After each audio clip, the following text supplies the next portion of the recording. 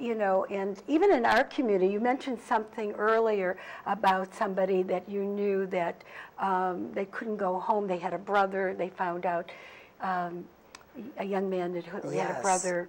Um, okay, so let me answer the first question. The first question you said was, um, how do I, how did I feel about um, Did you get bullied as Did- a, you know, were our you? community bullying? Yeah. Okay. I feel like the LGBT community is definitely a target for bullying. Um, from my own experience, I just I realized that people just don't like the idea of something different, and instead of you know a lot of the times instead of embracing it, some people embrace it, but the people that don't embrace it will attack it, and um, unfortunately, through my elementary years of high uh, elementary years of school and high school years of school, I was targeted and, and bullied. But um, fortunately, I didn't let it bother me too much. But for some people, it, it gets very rough and to the point where they commit suicide. And that's, to me, is unacceptable. And I, I hope that nobody ever has to go through that and get to that point. But unfortunately, sometimes it does happen. And that is how you know that people are bullied. I mean, I mean, they're a target because because of who they are, because of how, because they're different. And And people have a hard time accepting people that are different. oh yes, yeah. And instead of instead of embracing them, they they ta- they attack them. And uh, what was the next question? Well, well, the, well the, one of the questions that, um, I, I'll get back to that, but I, I, I was just looking at something that I thought was really interesting, um, was that Congress is clueless on gay blood ban. In fact, we were talking earlier, and you were even surprised that it was still there. And it said, even as members of their community were still bleeding from the Savage shooting in Orlando, many gay men were turned away from donating blood to assist in the medical uh, response. And what, what is wrong with gay blood? And there were two senators. It was just interesting. Both Democratic Senator Jen, uh, Senator Joe Manchin of West Virginia and, and Republican Senator Lindsey Graham of South Carolina, they didn't even know about this. He said, I didn't, one said, I don't know anything about that. I never heard of that. And the other senator said, I didn't know there was a ban, was a ban. And I, you know, they're both trying to urge them to reconsider it. Uh, the FDA put a lifetime ban on gay men donating blood during the rise of the HIV epidemic in 1980s.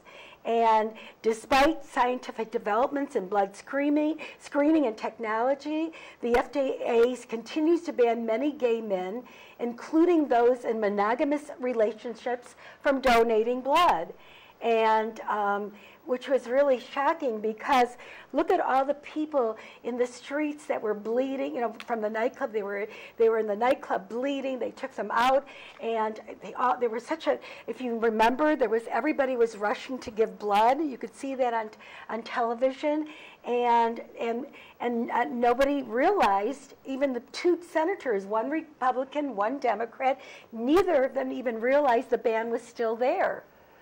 I I think part of the reason why is because my per- my personal opinion on all it is such an outdated law. I mean, this is this was a law that was implemented at a time when when you know there was an AIDS epidemic Right. that is no longer an issue anymore. And it is a completely outdated law. And to me, it, it's, it's almost devastating to even know that this law still ceases to exist when there are so many people that are voluntarily willing to donate blood, including myself. I would, you know, I would have donated blood had I been allowed to do it openly as a gay man. And unfortunately, I don't have that opportunity because this law is still in place. And it's very unfortunate, especially when we had so many people coming together and would have undoubtedly given their, their blood and donated it to people who needed it, to the, to the victims of the massacre. You know, uh, there was a California California Democratic Republic uh, representative. She's from um, California. She's a Democrat, and her name's Barbara Lee. Said this is an emergency. An executive order should be issued. An administration, an administrative change should be taking place right away. And the White House pushed back Tuesday, that Tuesday, and calls from the administration to do just that, telling reporters at a daily press briefing that they have no plans on making any of these changes now. And it uh, and, and uh, wasn't that a slap in the face of the community that was already deep in mourning for something like that to happen? Such a disappointment. I, I mean, to get everyone's hopes up into thinking that they were actually going to get some progress made on something that should have been probably taken care of many years ago, mm-hmm. and then to all of a say, oh, never mind. I mean, that's just that's just that's disrespectful. And and you don't know. I mean, we're talking about people giving blood, and there's straight men that uh, want to give blood. I mean, we don't know who they've been sleeping with, and sure. so I mean, blood is blood. Mm-hmm. And, uh, you know, I mean, of course, you have to look and see, make sure the person isn't ill or something like that. You know, you want to do a quick test to make sure the blood is good, you know, because it could be anybody could have, uh, you know, um, you know, problems, you know, maybe diabetics, they can't give blood, or certain people in certain communities, people with autoimmune, there may be a, a, a, reason. But people are willing to give blood, I think there's a quick test that they could take to make sure the blood is okay, and that is, that's, that's really a, a, terrible, you know, it's, it's really, it's really pretty bad, you know, to, I, I, I, I was shocked, you were shocked, and our, and, and our senators were shocked that this was still on. And uh, it's one of the, you know, the, the writer um, that spoke on this before Milo, um, My, Milo Todd, you know, um, you know, there, he said there, there's many ways you can show up for the gay community after Orlando, and it, would, it took a tragedy, a tragedy to that all of a sudden everything now is coming out. I mean, we didn't even know about uh, with, with, all these things, the blood problem. I mean, look, I mean, I hate to say it, but you know, a tragedy brought out a lot of things for the gay community, and they could probably change a lot of things. Absolutely. Um, in response to what your statement that you opened when you read, um, you know, there are hate crimes. There are you know, there's homophobia that happens on a daily basis. Um, but of course, like you said, it takes a tragedy such as a nightclub massacre to spread such awareness and for people to actually say, hey, maybe we need to change things a bit. Maybe we need to do something about this. And um, this is like a, a, an incident where it really opened people's eyes a bit more. Unfortunately, in order to do that, there had to be a massacre, which to me is, is very unfortunate that we couldn't have resolved these issues without there being such a tragedy. Why does it take a tragedy in order to make progress in certain areas of things that could have been resolved before such a matter occurred?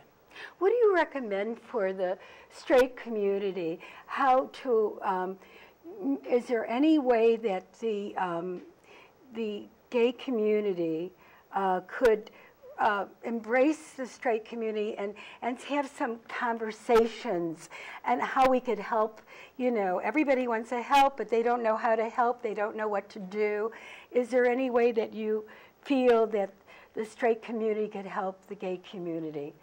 Absolutely. There's definitely a way they can help. After all, I mean, we're the minority, they're the majority.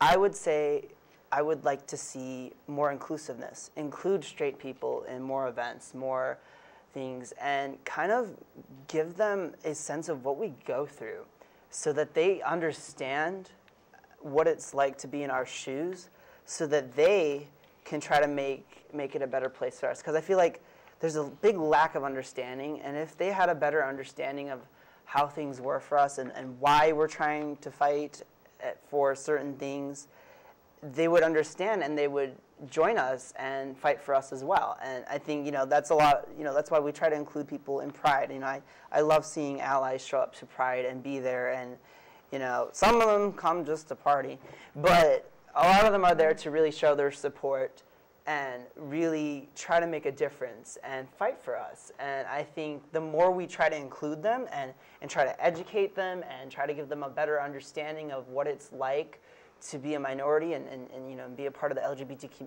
community, the more they'll be willing to get involved and, and join us in fighting for equality. Yeah, because uh, I guess people don't know what to do. They don't know, you know, they're afraid they're going to step on one's toes, and they don't know how to be included. Um, so that's, I think that's why we're doing the show today to help people, um, you know, to help the community that we can join you in some way to help you out. Um, and I think maybe that that is the reason I do. I am having this show today, so you could, you know, you could really get to the heart of it because I don't think that people really know what to do.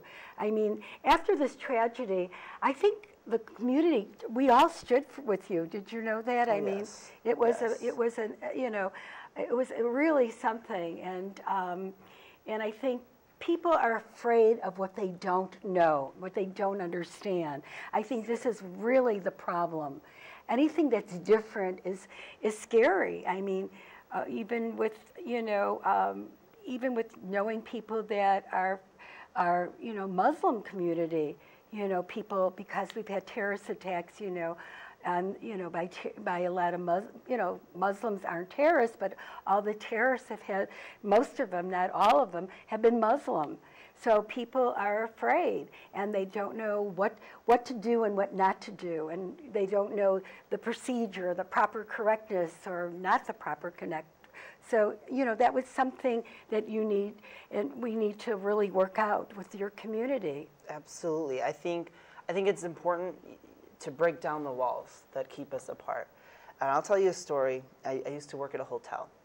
And um, we have two minutes. Had, so two minutes. Okay. Yes. So I'll try to say this really quick. Uh, it was it was people that had um, come to visit from Saudi Arabia, and they were Muslim, and I you know I just saw you know this is how they're just people, and I wish I said I wish everyone could see this that this is who these people really are. They're just a family here. You know, they may have different culture, a different culture, but at the end of the day, they're just people just like everybody else, and we're all just people. And if we could just kind of realize that and not put everyone mm-hmm. into the same category, uh, I think, I th- and break down those walls and just kind of have a sense of unity here and realize that we're all people, I think the world would be a much more peaceful place. Right, and I think uh, the media needs to stop giving so much attention to all these shooters, these these terrorists, because we're getting, because that's what they're asking for. They want to be, they want to be for some reason maybe they didn't get, um, you know, when they were kids they didn't, you know, even though they're terrorists, they want to become a household name, and I think we need to stop. You know, we should we should have more Muslim people, homosexuals on the air and talking to each other and not giving so much emphasis to the terrorist. You know, we're, we're doing just the opposite of what we want to accomplish. I absolutely agree. I think we need to bring people together and not push them away from each other. Yes, and um, we, we, and actually, this has been, um, you know, I, I, think this has been an enlightenment, this show, because, um, you know, we, we want to help the people and, and we want to also uh, ease up, you know, how we can keep ourselves safe, you know, and I think you brought out some of the things that when kids go to clubs, they need to, you know, they need to look around their surroundings. Yeah. They need to be a more you know, they need to be more uh, on top of it, you know, instead of just going in and, you know, having the best time in the world. But Gary, I am so glad that you came. I caught you before you went to California, and um, you're always a good guest. And when you come back, I always invite you to come to Cahnmann's Roundtable. You're always welcome to be our guest here. And the next time you'll be you know, be, um, you'll have your master's degree. Oh, yes. and I want to thank you for being here for us and for our viewers. And um, th- this, I think this show can really help people understand what you have been going through and what others have gone through. Thank you very much for being here, and I really appreciate it.